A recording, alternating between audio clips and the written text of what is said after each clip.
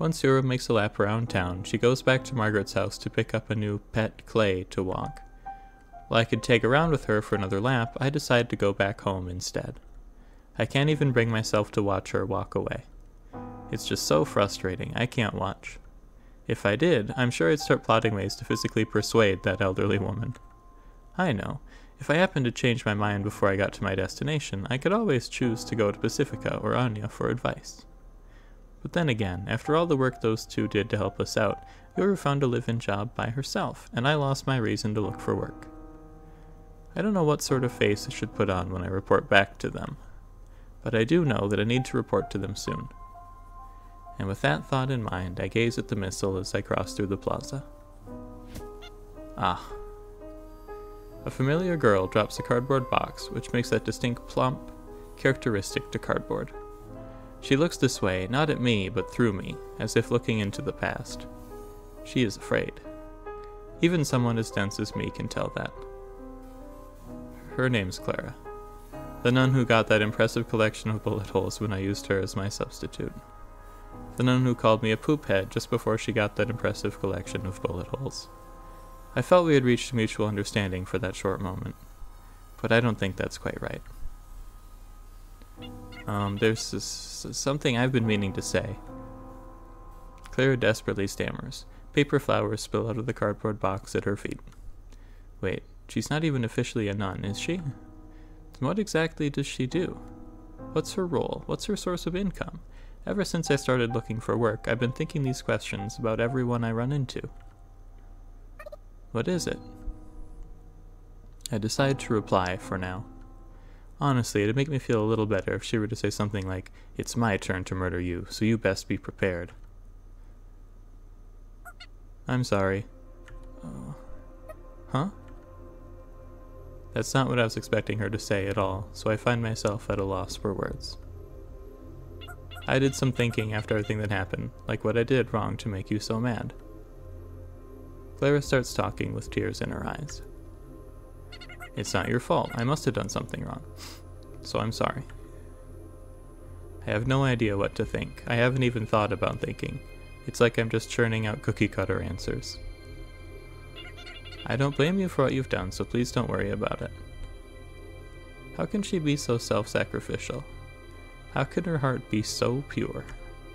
Is that what she wants me to think? don't make me smack you. But let's talk things out with words instead of violence this time. Please come visit the church. We have tea and yummy sweets. You can make friends, laugh, have fun. The ideal girl speaks of her ideals with an idyllic look on her face. Give me a break. None of that stuff is what I need. My boundless rage actually calms me down. It also gives me a sudden flash of inspiration. My thoughts freeze over and become clear, like ice free of any impurities. You're right, Clara. I'm sorry about what I did earlier. Oh. I hug Clara. Her body stiffens for the first few seconds, but she relaxes soon enough. Clara smells. Clara is small and smells like a sweet scented candle you'd buy at a cozy general store. For now, I wipe the snow off my hands on the back of her coat. I'm so relieved to hear you say that. Let's be friends from now on. I act out the cookie cutter answer she wants to hear. It's as if there is no Sayako nor Clara here. It's as if we're just actors acting out an ideal script in the center of the plaza. I'm so, so happy. My love finally got through to you, right? Yes, that's right, Clara. By the way, I'm in a bit of trouble now, you see. Oh, I can help. I thank her and let go, ending our embrace. The sweet smell fades into the distance, giving my lungs a bit of relief. You see, I place a hand on Clara's shoulder and give her the most troubled look I can muster. I peer into her pale eyes and establish firm eye contact. My role here is a pitiful person in need of help, and your role is someone who can give me that help. You understand? It's about money, you see. Money? I give her a truthful summary about the current state of affairs. I make sure to highlight how Yoru's been unfairly treated like a slave at her job. And I don't forget to mention how she's being subjected to casual violence. I firmly emphasize those two points. No way. Poor Yoru. So I want you to help Yoru pay her debts, but it's too large of a sum for me alone. I put more force into my grip on her shoulder. I try, but fail to cry on command. It was worth a shot, though. So help me pay for half so we can reclaim Yoru's freedom. I think I pulled it off. Huh? You're my only hope. I squeeze out the most pitiful voice I can muster. I need you. Keep going. You're the only one I can talk to. More.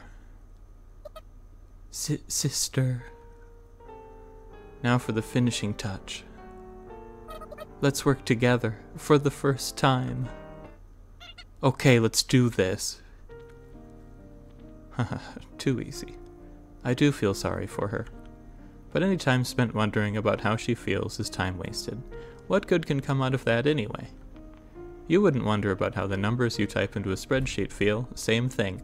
Oh my god. I will try. How much money do I need to bring? Okay, first, don't be alarmed when I tell you the amount. I tell her half of the necessary amount, times two. In other words, the full amount. Reducing the amount of work I have to do to zero. She's so bad. It's not that I don't want to work, it's just that it feels right for Clara to pay up that much. I'm sure if I told Pacifica and Anya about it. Nice, but I'd be even ni nice, but it'd be even nicer if you doubled the amount. You're a friend I can be proud of. Oh my god. Yup, that's what Pacifica and Anya in my mind are saying. Is this a malicious scam? Perhaps. But Clara must think she's reformed me, and that I trust her enough to share my concerns with her. And that's what the ideal response that an ideal girl should make. I'm sure you know what you must do, Clara. I I understand. Also, don't tell anyone else. This is for your ears only. It's our little secret. But wouldn't it be better to get a lot of people to help? We can. Listen, if you betray me, I might get violent again, like last time. I think I feel Clara's shoulders stiffen when she hears the words last time. She hasn't forgotten the terror. I think it's far easier to forget things like love and happiness than it is to forget terror. Oh my god, our character is so bad. Terror dulls your decision making skills, and Clara's already dull as it is, which I guess is why I'm able to handle her so easily. But I don't have that much money. We really should get more people to help. Don't say a word to anyone. I shoot a piercing gaze through Clara's big, bewildered eyes. But I've never seen that much money. Oh. Clara? No, it's nothing. That money is off limits. I hug Clara as I hug Clara tight as she murmurs those words just like Pacifica once did. I then whisper in her ear, Say, Clara? We're friends, aren't we? We've forgiven each other. We're almost the same age. We're true friends forever, aren't we? I randomly say whatever words might make Clara happy as I'm trying to find a specific website on a search engine. Oh my god. We sure are. Clara's body trembles slightly. I don't know if it's what I said, or if my breath simply tickled her ear. Either way, it doesn't matter. Once this whole incident is over, let's plan out all the things we can do together. Clara starts squirming more and more in my embrace. Just think of all the things we can do. I can't wait for us to plan everything out, together, of course. Just the two of us in my room, a sleepover, We'll be together until morning. And so, and even so, I neither strengthened nor loosened my grasp on her, as if the embrace were completely natural. Oh, I, I... I wonder what you'll sound like as you snooze in my arms. Clara twitches, squirms, and then stops resisting. The priest has money saved up for everyone in case of an emergency.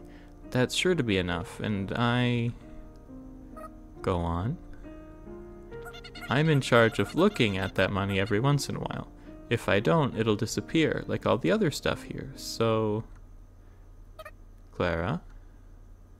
The next time I have to look at the money, I can bring it out. Thank you. I feel bad for the priest, but this is surely a good use of the money, right? God will surely forgive me, right?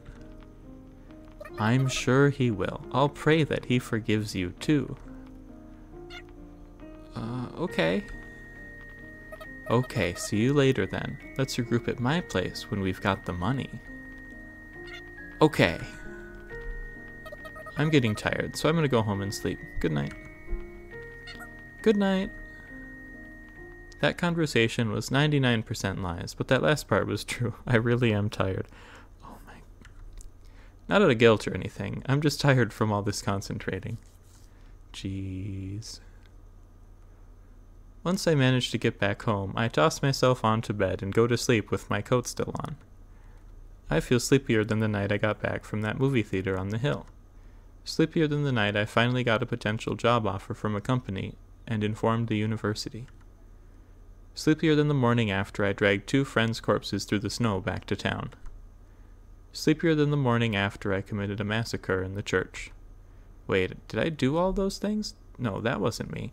Must have been things I've heard from someone else that I've mistaken for my own memories. Right, that's gotta be it. Anyway, I think I'm far sleepier now than I was for any of those various events. Oh my god, our character's a mess. when the doorbell rings, the three of us packed into my room, get excited. Pacifica, the pizza's here. It took them longer than 15 minutes, so they gotta give it to us for free. Yeah, yeah, so, Sayako? On it. The two of them hide behind the bed where they can't be seen from the door. I shoot them a glance and open the door. Here it is! Clara's standing there with a glimmer in her eyes. They're glimmering a little too much, actually. It's not like her. I guess her body must be all riled up from the naughtiness of betraying her people. I'm pretty sure adrenaline or whatever would do that to you. That's a, there's a big travel bag by Clara's feet. Really? Wow, let's see it so I can count. With difficulty, Clara picks up the heavy bag and hands it to me. So have we come to understand each other? Are we friends now?